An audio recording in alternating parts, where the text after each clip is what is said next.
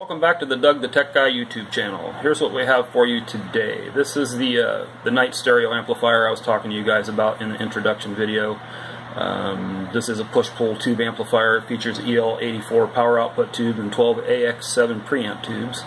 Um, it's rated at 24 watts output power. Um, that is bridged mono. Um, even though this is a stereo amplifier, it does have a mono switch on the front, which was kind of why I was interested in it, uh, to kind of convert it into a guitar amp. Um, so we, we could bridge both channels and get, get full power output. Um, so the, uh, the plan with this amp is, is to do, you know, quite a bit of modification to this thing. Um, I've got you know kind of a lot of plans in mind to use this kind of as, a, as a, an experimentation platform. Um, and, and, I'll go into that a little bit more, but um, I'm going to give you a shot of what this amp looked like when I picked it up. Um, there is the face shot. Now, I don't like the way this thing looks. Um, there, there's some condition issues on the front there in the bottom left corner. It's kind of hard to see, but there, there's some uh, some of the white stuff is kind of rubbed off, and there was some pitting on the face and whatnot. Um, I did go ahead and sand this face smooth, so there's no markings on the front. I'll kind of show you what it looks like right now. Come over here. This is what the amp looks like right now. Um, I just went ahead and put some temporary labels on the face. I, I think I'm going to paint the face of this black and change the knobs and you know do some different stuff to, to completely change the looks. Like I said, I didn't like the way it looked to, to begin with, and you know on top of the condition issues. So I, am going to completely change all that. Now I've already done some stuff to this amp. I've already checked it out on the bench and whatnot. I'll, I'll kind of zoom in. We did already install a quarter inch guitar input jack there on the front, uh, as you can see there. Um, also, uh, done some modifications to the top cover. Uh, I went ahead and installed a couple handles, one on each end, so we can move it around easier when it's all done. Um, also installed a quarter inch speaker cab output jack in the, uh, the left back corner as you can see there. Um, so uh, it'll make it easier to plug it into an, an external cabinet. Um, one of the cool things about this amp is the, the, output transformers are already tapped for 4, 8, or 16 ohms. Um, so it gives you, you know, quite a few different options as far as what speakers you want to connect to it. Here's kind of a shot of the top of the chassis. Um, now we've got two 12AX7 preamp tubes that have been removed there. Th those two were for the magnetic and crystal uh, phono input stage, um, so I don't have those tubes in there right now. I've actually stripped that, that part of the circuit completely out of the amp. Um, so now I, I, think what I'm going to do at this point here is I'm going to go ahead and pause the video. I'm going to get you guys up on the tripod so we can have a better look at the underneath side of this thing. So I will be right back. Okay, so I got you guys up on the bench here, got the camera mounted on the tripod. Uh, just want to point out we've got our output transformers here. Uh, we've got our power transformer here. Now I did go ahead and remove the uh, the preamp, or excuse me, not the preamp, but the power output tubes there in the back because I need to flip this thing over, and th those tubes are kind of tall. I don't want to take a chance on breaking the tops off. The two 12 AX7s here in the front, those are fine. Um, they don't protrude out the top of the case. So I'm going to go ahead and flip this thing over here really quick.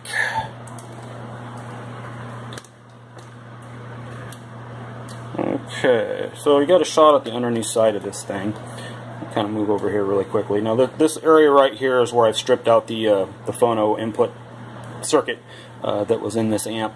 Um, made room for some stuff I'm going to do back there. I've kind of tidied up some of the wiring back here with some zip ties to kind of pull stuff out of the way. Um, also, uh, you can see our quarter inch input lead coming over here. I, have got a couple terminal strips that we're going to reutilize that were part of that phono input stage when I put the circuitry in here that, that I'm going to replace that with. Um, also over on this side, as you can see over here, um, this had the original two-wire cord on this still uh, no panel mount fuse or anything, so I did go ahead and replace it with a three-wire cord. Uh, put an inline fuse holder in there with a one and a half amp fuse to, to give you some protection. Um, one of the cool things about this amp is it, it uses these brown drop capacitors. There, there weren't, weren't, a bunch of electrolytics in there that needed to be changed or anything. Um, I am, however, going to change to two CAN capacitors because I'm, I'm, assuming that those those are probably out of tolerance. Um, they usually go bad over time. Um, I did check all the rest of the resistors and capacitors, and everything is within tolerance, so there's there's no big issues um, or anything that needs to be really addressed or changed in there, other than this resistor here was fried.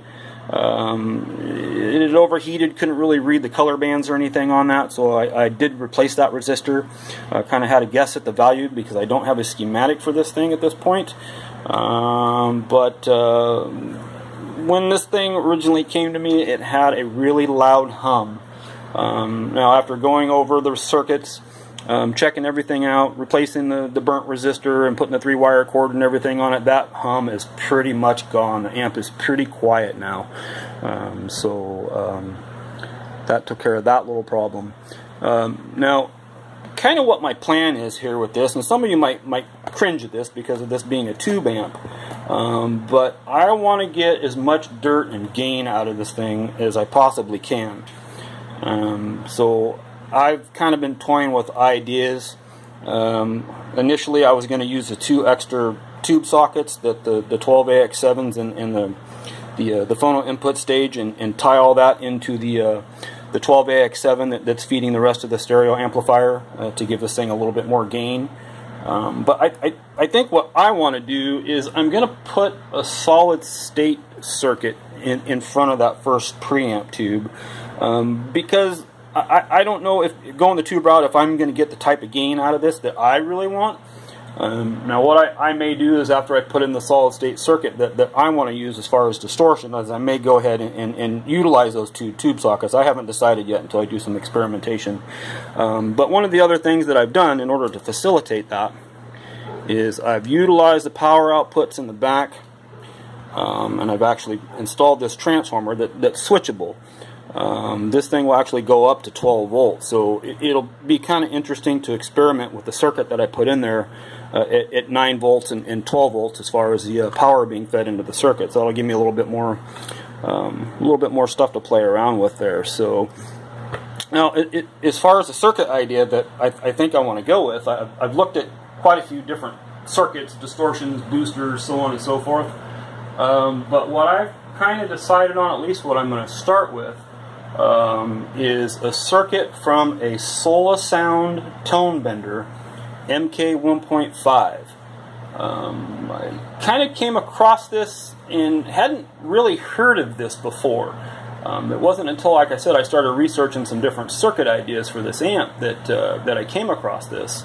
Um, apparently, Jimmy Page used one of these Solasound tone benders. Um, I, I, I, think that uh, uh, Hendrix may have even used one at one point as well. But what, what this thing is is very similar to a uh, to a fuzz face circuit. Um, the uh, the Dunlop fuzz face circuit, uh, I, I, think, probably just uses some different values here or there on a couple of the components, but uses the same basic circuit. Um, and um, I've listened to comparisons uh, between the fuzz face and the Sola Sound, and I really liked the sound from the Sola Sound tone bender better than I do the fuzz face. Um, now, the circuit can be built using the germanium transistors that were in their original design, and there, has been a few different uh, transistors that have been used in, in, the in the tone bender circuit at least over the years. Um, the original transistors that they use in there are, are kind of hard to come by and they're kind of expensive. You're talking, you know, 35, 40 bucks for a couple transistors if you can find them.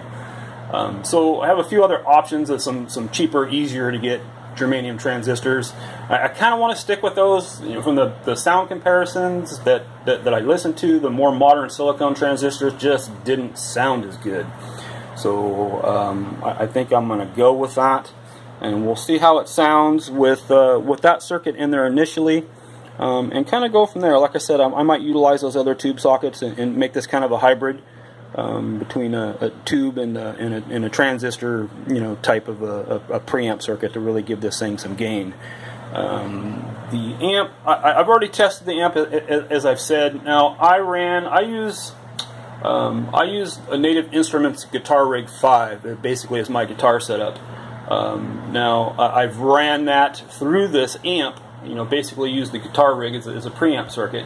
Um, and, and, the amp, as it sets right now, sounds really good. It gets quite loud. It sounds nicely with the guitar rig running through it. Um, but that's not how I want to utilize this amp. I just want to have this as kind of like a little standalone amp I can just plug directly into and just get some badass dirt out of the thing. That, that that's kind of my my goal with this. Um, and, and, like I said, I, it, it, it would be nice. I'm not going to completely just make it a straight up guitar amp. I am going to keep it where the, uh, you know, the, the clean stereo circuit can still be used if we want to just, you know, listen to some music, you know, in stereo. Um, but it'd be nice to have that, you know, switch it to mono, plug in a guitar, and, and, and, get some dirt and use it as a guitar amp if I want. Um, like I said, my plan is just to use it as an experimentation platform. Um, like I said, I, I, I, think in the end we're going to end up with a hybrid circuit between you know transistor dirt um, and, and, and maybe a boost circuit or, or, or something like that. I'll, like I said, I, I, I, think before it's over, I'll utilize the tubes, those other two tube sockets as well. So, um, but anyway, that's kind of an initial you know look at this and kind of my overall plan. Um, so if you guys have any suggestions, I mean, I'd, I'd love to hear them.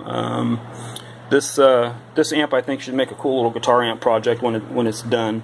Um, now I've already, you know, like I said, I've already tested all the all the capacitors, all the resistors, everything's within tolerance.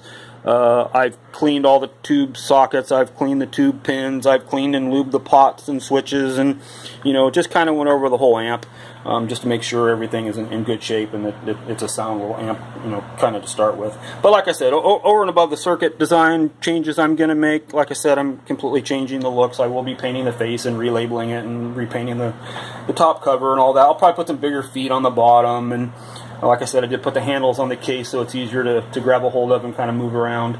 Um, so got, got a lot of stuff, you know, that, that I want to do to this. I think it should be pretty cool when it's all done. But um, so we'll just kind of call this, you know, part one of the of the Knight tube amp build. Um, it, you know, as I do more work on this thing, we'll, we'll upload more videos that kind of you know chronicle the the other stuff that I do to this amp. Um, but anyway, that's about it for now on this. Um, so if you guys like the video, uh, please hit the like button. Uh, you know, if, if, you could, go ahead and subscribe to the channel. Um, like I said before, kind of want to get the channel kind of built up. We need subscribers to do that. So, you know, uh, everything helps there. So, um, also in the description of the videos, um, I went ahead and put a, a, list of, you know, pretty much all my main tools and equipment that I use. Um, I've also put a download link. If anybody's in the guitar rig, I did put the preset that I use um, in the description, so you can download that if you want. Um, and also, before we kind of call this quits, I will kind of give you a look at the at the circuit of the Solasound here. That's that's what it looks like. That's what we're going to end up building and putting in that space. And then, like I said, we'll we'll go from there and and uh, you know see what else I want to do. But but that'll get us a start. Like I said, that'll give this amp a nice dirty sound, um, but yet you know nice and creamy too at the same time. So, but anyway, that's about it for now. Like I said, hit the like and subscribe button if you would. Um, and we'll catch you on the next video.